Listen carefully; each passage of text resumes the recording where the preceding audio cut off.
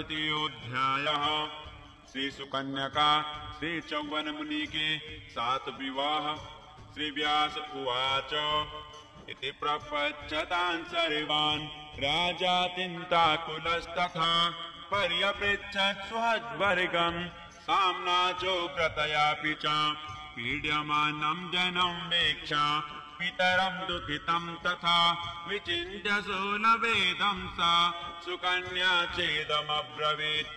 वने मया पिता तत्र वल्मीको वीरुधावृतः क्रीडन्त्या सुदृढो दृष्ट छिद्रद्वयसमन्वितः। तत्र खद्योतवद्दीप्त ज्योतिषे वीक्षिते मया सूचा विद्धे महाराज पुनः खद्योतशङ्कया जलिनक्तीन्ना तदा सूचे मया दृष्टा पिता किल? हाहेति च श्रुता शब्दो मन्दो वल्मीकमध्यतः तदाहम् विस्मितो राजन् किमेतदिति शङ्कया न जाने किम् मया विद्धम् तस्मिन् वल्मीकमण्डले राजा श्रुता तु सर्याते सुकन्यावचनम् मृदु मुने तद्धेलनम् ज्ञात्वा वल्मीकम् चिप्रमभ्यगात्। तत्रापस्यो तपो वृद्धम् चौवनम् दुःखितम् भृशम् स्फोटयामास वल्मीकम् मुनिदेहावृतम् भृशम् प्रणम्य दण्डवद्भूमो राजा तम् भार्गवम् पते तुष्टावविनयोपेत तमुवाच कृताञ्जलि। पुत्र्या मम महाभाग। क्रीडन्त्या दुष्कृतम् कृतम्। अज्ञानात् पालया ब्रह्मन्। कृतम् तच्छन्तुमर्हसि। अक्रोधना हि मुनयो। भवन्तीति मया श्रुतम्। तस्मात् त्वमपि बालाय। क्षन्तुमर्हसि साम्प्रतम्। श्रीव्यास उवाच इति श्रुत्वा तस्य चौवनो वाक्यमब्रवीत्। विनयोपनतम् दृष्ट्वा राजानम् दुःखितम् भृशम् श्रीचौवन उवाच राजन्नाहम् कदाचिद्वे करोमि क्रोधमण्वपि। न मया त्येव सत्तास्त्वम् दुहित्रा पीडने कृते नेत्रे पीडा समुत्पन्ना।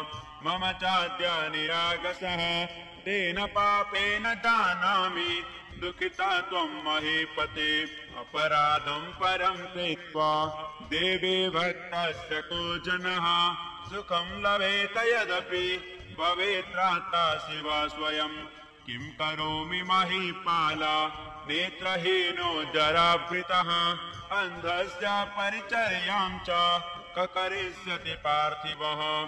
श्रीराजा उवाच सेवका बहवा सेवाम् करिष्यन्ति तवानिशम् क्षमस्व मुनिशार्दूला स्वल्पक्रोधाहितापस श्रीचौवन उवाच अन्धोऽहम् निर्जनो राजम् तपातप्तुम् कथम् क्षमः? त्वदीया सेवको किम् ते? करिष्यन्ति मम प्रियम् क्षमापयसि चेन्माम् त्वम् कुरु मे वचनम् निपः। देहि मे परिचर्यार्थम् कन्याम् कमललोचनाम् तुष्येनया महाराज। पुत्र्या तव महामते। करिष्यामि तपश्चाहम् समे सेवाम् करिष्यति।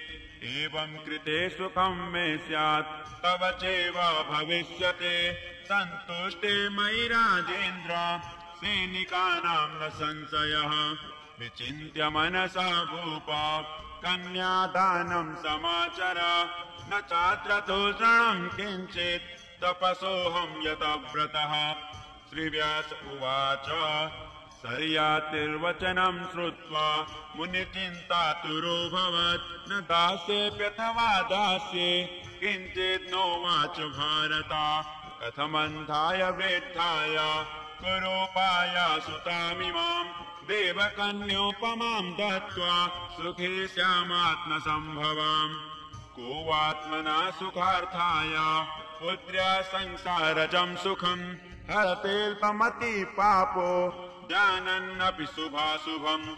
प्राप्य स चौवनम् शुभ्रु पञ्चवाणसरार्दिता अन्धम् वृद्धम् पतिम् प्राप्य कथम् कालम् नयिष्यति यौवने दुर्जया कामो विशेषेण स्वरूपया आत्मतुल्यम् पतिम् प्राप्य किमु वृद्धम् विलोचनम् गौतमम् तापसम् प्राप्य रूपयौवन संयुता अल्यावासवेनासु वञ्चिता वरवर्णिनि सप्ता च पतिना पश्चात् ज्ञात्वा धर्मविपर्ययम् तस्माद्भवतु मे दुःखम् न ददामि सुकन्यकाम् इति सञ्चिन्त्य सर्यात् विमना स्वगृहम् ययो सचिवाञ्च समादाय मन्त्रम् चक्रेति दुःखितः।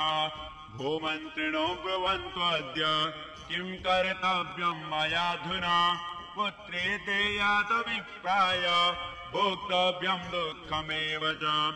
विचारयध्वम् मिलिता हितम् स्यान्ममे कथम् विचारयध्वम् मिलिता हितम् स्यान्ममे कथम् श्रीमन्त्री उवाच। किम् ब्रुमोऽस्मिन् महाराज। सङ्कटे दुरासदे। दुर्भगाय सुकन्ये सा कथम् देयाति सुन्दरी।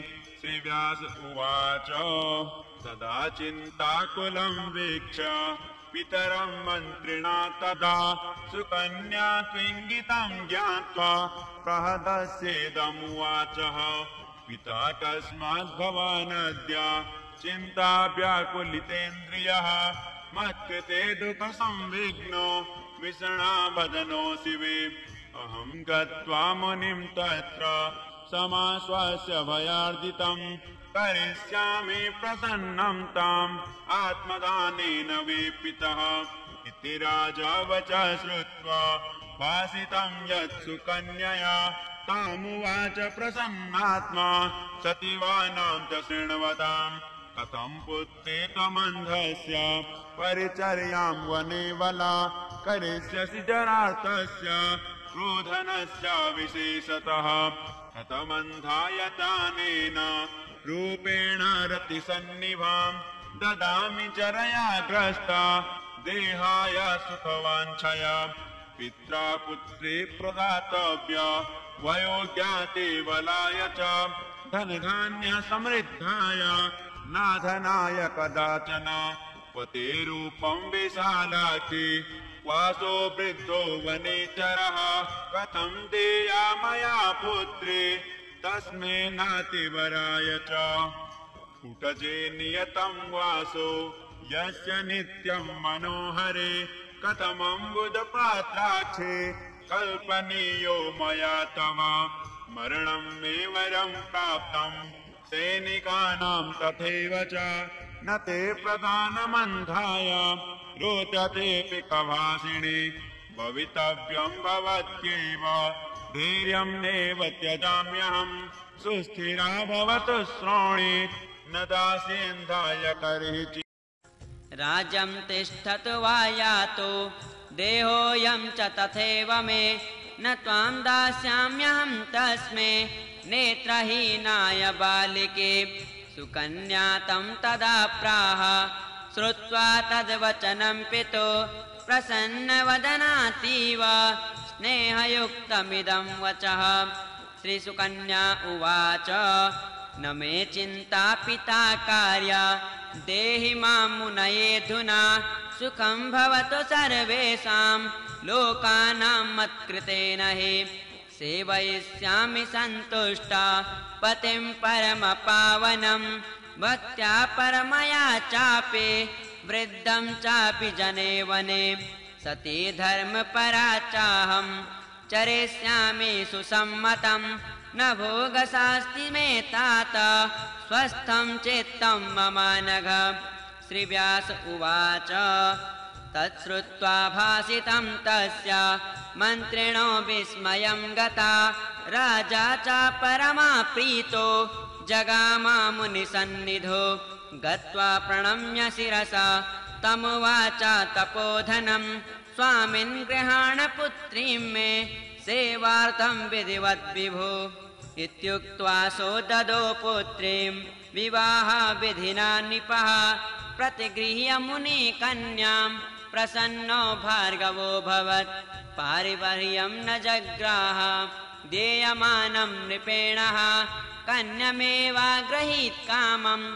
परिचर्यार्थमात्मनः प्रसन्नेऽस्मिन् मुनो जातं सैनिकानां सुखं तदा राजश्च परमाह्लाद सञ्जाता तत्क्षणादपि दत्त्वा पुत्रीं यथा राजा गमनाय गृहं प्रति मतिं चकार तन्वङ्गे तदोवाच निपं सुता श्रीसुकन्या उवाच गृहाण मम वासांसि भूषणानि च ते पितः वल्कलं परिधानाय प्रयच्छाजिनमुत्तमं वेशं तु मुनिपत्नीनां कृत्वा तपसि सेवनं करिष्यामि तथा तात। यथा ते कृतिरच्युता भविष्यति भुवा पृष्ठे तथा स्वर्गे रसातले। परलोकसुखायाहं चरिष्यामि दिवानिशं दत्त्वान्धाय च वृद्धाय। सुन्दरीं युवतीं तु मां चिन्ता त्वया न कर्तव्या। शीलनाशसमुद्भव। अरुन्धते वसिष्ठस्य धर्मपत्नी यथा भुवि तथैवाहं भविष्यामि। नात्र कार्याविचारणा।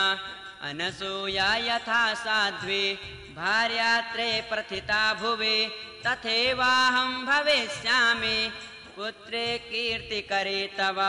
सुकन्यावचनं श्रुत्वा राजा परमधर्मवित् दत्त्वा जिनं रुरोदासु। वीक्षतां चारुहासिनीं त्यक्त्वा भूषणवासांसि मुनिवेशधरां सुतां विवर्णवदनो भूत्वा स्थिता तत्रैव पार्थिवः। राज्या सर्वे सुतां दृष्ट्वा वल्कलाजिनधारिणीं रुरुदुद्वृशोकार्ता वेपमाना इवाभवन् तामा पृच्छ महीपालो मन्त्रिभिः परिवारितः ययो स्वनगरं राजन् मुक्त्वा पुत्रीं सुचार्पिताम्। ॐ श्रीमद्देवी भागवते महापुराणे अष्टादशसाहस्र्यां संहितायां सप्तमस्कन्धे श्रीचहुवन सुकन्ययोः ग्राह्यस्थवर्णनं नाम तृतीयोऽध्यायः सम्पूर्णम्